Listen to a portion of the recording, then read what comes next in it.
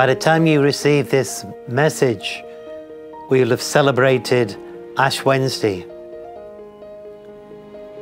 Lent is a time of renewal. Yes, we're asked to fast, we're asked to abstain.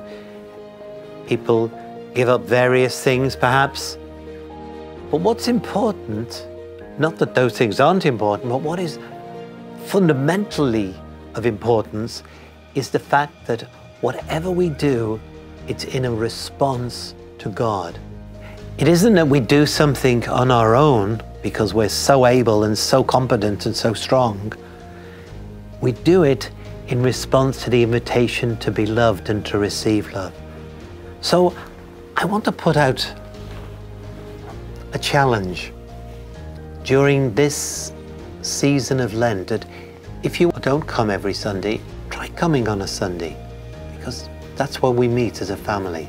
If you do come regularly, and that's so wonderful and appreciated, and I'm sure God smiles, think about coming to an extra Mass during the week. We have Mass on Monday to Friday at 7 in the morning. On Wednesday, except spring break, we have the school Mass at 8.10. And on a Thursday evening, we have Mass at 6.30. It's about responding to God's love, knowing that we can't make changes without His grace and His strength.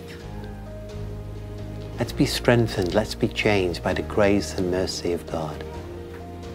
Happy Lent!